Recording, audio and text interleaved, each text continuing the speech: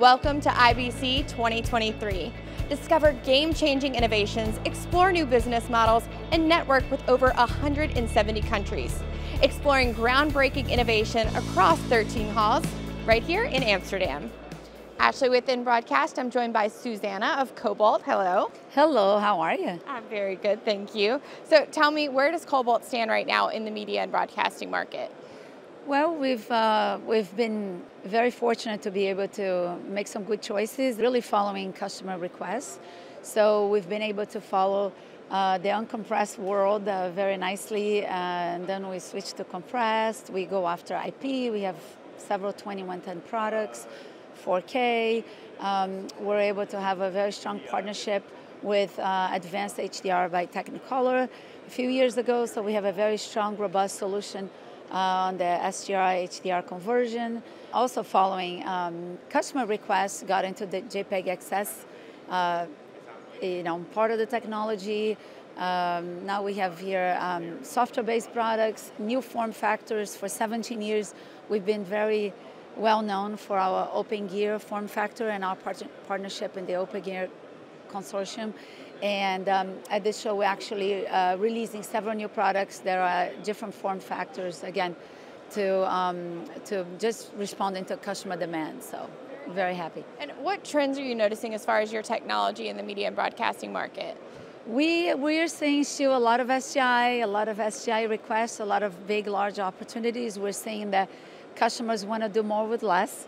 Um, so we, we keep uh, progressing with our software-defined solutions where we sell a base product with a million choices so customers can choose as they go and they can uh, adapt and adopt new licenses as, as they grow really.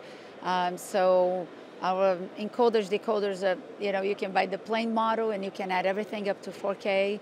HDR, RIST, protocols, SRT. And so what are you showcasing right now? What are you highlighting? What are your latest developments?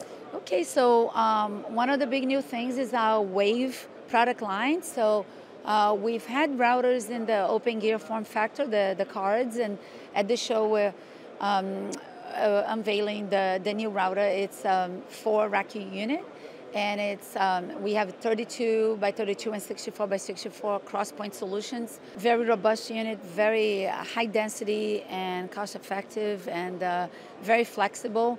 Um, we are pairing with the router, we're coming out with uh, wave control panels. So we're going to have four different models of control panels, two one rack unit and two two rack unit. We always have a more high end, which is the buttons are backlit with LCD dot matrix uh, display buttons. So it's a more, it's a higher end type of control. And then we have the low end, more budget friendly for some, you know, for half of our market. Um, these units uh, have customizable, customizable APIs, so we are already seeing a lot of customers that would like to use the control panels for, you know, to manage some other products from other vendors and other pieces of the network. So that's on the Wave product family. We also have a brand new IP multi-viewer. This multi-viewer was specifically designed for master control, supports all monitoring applications, because it's fully software based, um, we're able to basically support all compressed and uncompressed IP inputs and all the protocols. So we support RIST, simple main profiles and SRT, RTMP, UDP, RTP, just, just about anything. And on the output, it, um, it, it takes out multiple uh, outputs, including um, automatic uh, portrait rotation or any anything really. So it's extremely flexible. We sell it as a software package. We sell it as a cloud instance with WebRTC outputs, and we also sell it uh, on, a, on a very cost-effective server type of products. People want the hardware. And last I'm going to mention is the, the new ultra low latency uh, decoder. So that's our new openGear card, and it's part of the Pacific compression line.